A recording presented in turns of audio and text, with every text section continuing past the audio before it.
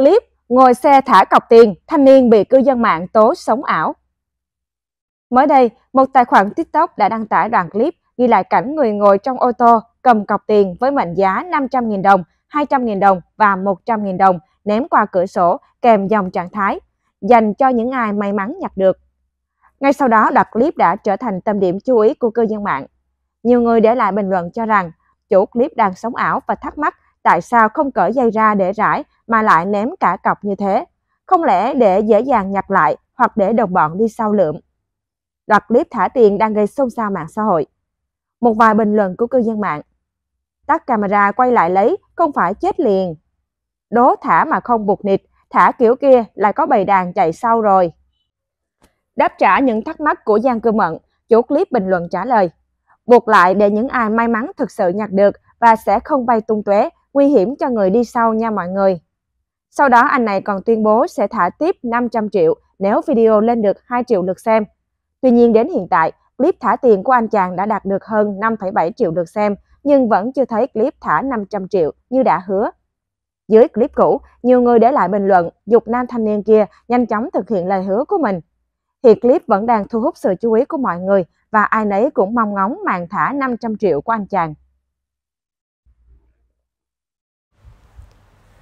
Anh chàng shipper với 1.800 đơn hàng hết nói nổi của khách. Nghề shipper bây giờ là nghề tổng hợp ở nhỉ. Hết vào ráp hộ khách cái bóng đèn, sửa dùm máy lạnh, giờ chuyển sang bốc phát, làm tài xế xe hạng nặng. Theo đó, ai theo dõi trang TikTok của anh chàng shipper tên Duy Chai En thì sẽ không khỏi tức cái lồng ngực, rồi sau đó cười banh bụng với loạt clip kiếp nạn khi giao hàng cho khách của anh chàng. Cũng không biết do anh xui hay do khách bây giờ tin tưởng vào năng lực của shipper, hay kiểu hướng nội lười ra đường nên cái thứ gì cũng đặt trên mạng. Đến anh shipper còn thắc mắc, bộ ở Long Khánh không có nệm hay sao mà phải đặt trên mạng. Rồi sau đó nai lưng khiêng chiếc nệm đóng gói to đùng đi vào nhà giao cho khách. Chưa dừng lại ở đó, bộ ở Long Khánh không có bán thùng rác hay sao mà cũng lên mạng đặt về cho được. Để anh shipper máng cái thùng rác sau đuôi xe chạy vèo vèo mà hài hước dễ sợ. Mỗi lần giao hàng ta nói tưởng đang cạnh tranh với mấy anh xe tải vì đơn nào đơn nấy thiếu điều đè luôn anh shipper. Nhưng như đó chưa hết quá đáng. Thấy anh shipper dễ tính quá hay sao mà khách sống thảnh thơi, order luôn nguyên cây cổ thụ. Nhìn cái cây để lên xe máy để đi ship mà muốn khuyên anh shipper bỏ nghề hết sức.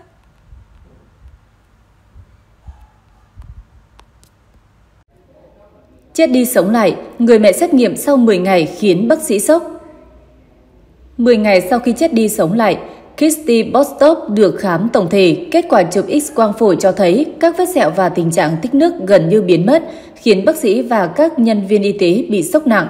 Liệu có thế giới bên kia sau khi chết hay không là câu hỏi khiến rất nhiều người tò mò. Một bà mẹ ba con ở Anh rơi vào trạng thái hôn mê sau khi tim đột ngột ngừng đập và được cấp cứu 40 phút sau đó. Trong thời gian tử vong, cô đã trải qua những điều khó tin khiến mọi người không khỏi mở rộng tầm mắt.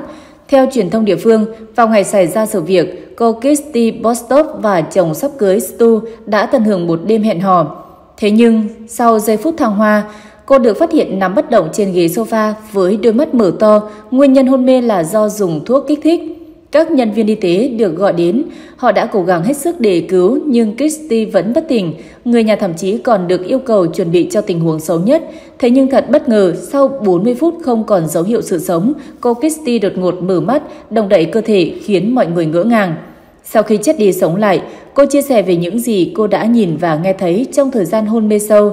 Theo cô, lúc đó cô cảm giác cơ thể bồng bềnh, cố gắng tìm đến một người bạn là nhà ngoại cảm nhờ viết lời nhắn cuối cùng cho các con và chồng sắp cưới của mình. Cô cảm thấy không thể quay trở lại.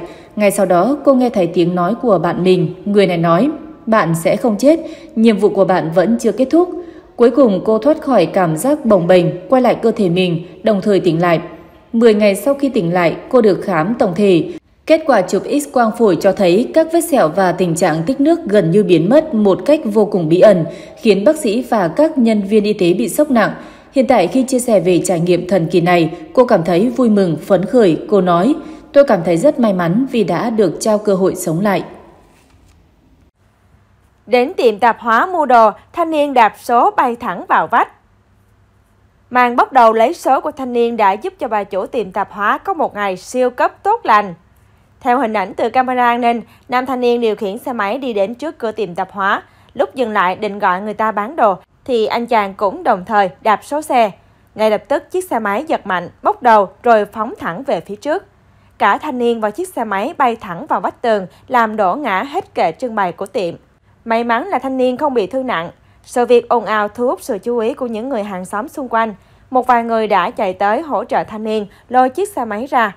Cuối cùng không rõ thiệt hại đôi bên thương lượng thế nào, nhưng cư dân mạng chắc chắn một điều, bà chủ tiệm tạp hóa sẽ không phải chịu thiệt. Một số bình luận hài hước được cư dân mạng để lại. Tính ra mua gói thuốc 20.000, ai ngờ vô tình bỏ ra 2 triệu dọn hàng cũ cho bà chủ lấy hàng mới về bán Tết. Có bao nhiêu hàng lấy tất cả cho cháu, tí nữa bố mẹ cháu ra trả tiền. Về số nẹt bô, tưởng hết số rồi, dứt ngay số 1.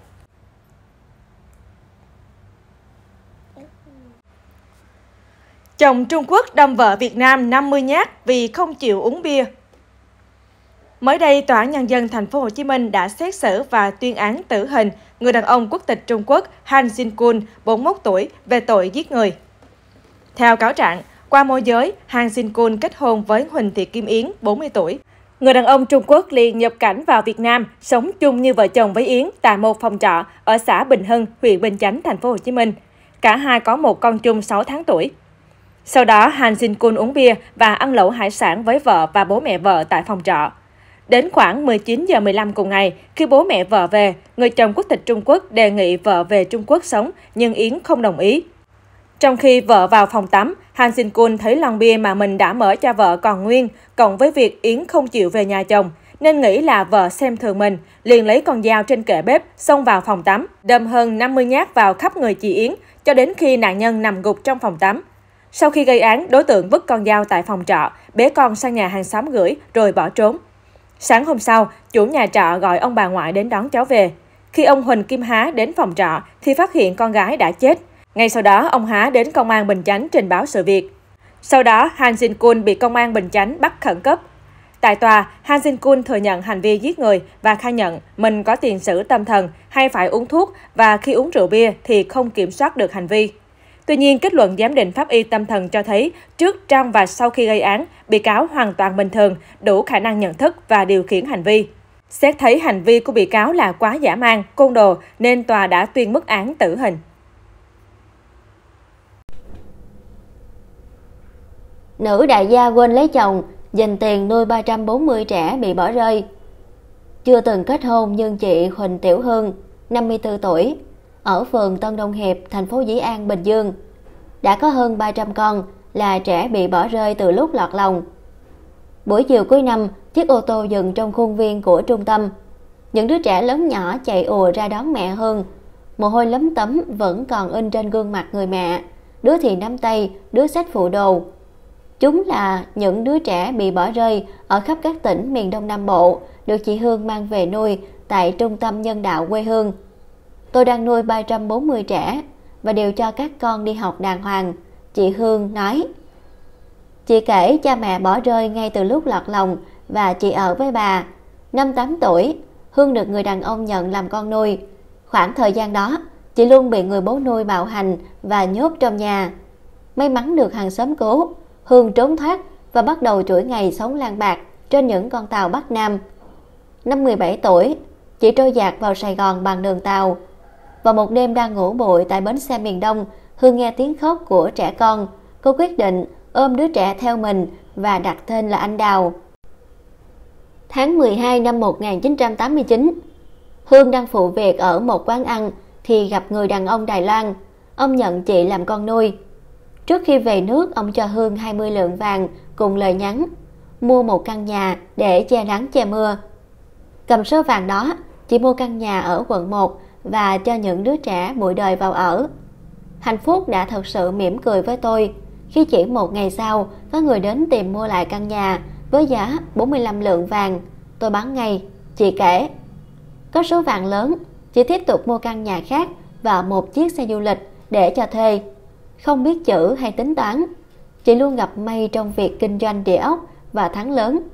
Tiểu Hương bước vào thương trường một cách vô tình như thế. Năm 2001, Trung tâm Nhân đạo quê hương được thành lập, làm nơi nương tựa cho hàng trăm đứa trẻ bị bỏ rơi. Đến nay, sau hơn 20 năm xây dựng mái ấm, đã có nhiều đứa con trưởng thành và tự mình kiếm sống với đủ ngành nghề. Đặc biệt, chị Hương cũng làm chủ hôn, chứng kiến cả trăm con nên duyên vợ chồng. Chị kể gần đây, căn bệnh ung thư vú lại tái phát. Cách đôi ba tháng chị lại sang Mỹ điều trị. Tôi không dám để tụi nhỏ biết vì chúng sẽ buồn, sợ mẹ khổ rồi bỏ học. Chị nói, mỗi đứa trẻ đến với tôi như một món quà ông trời ban tặng. Hôm nay tôi có tất cả là của xã hội cho, tôi sẽ trả về cho xã hội hết và chỉ cầu mong cho mình hai chữ bình an. Chị tâm niệm.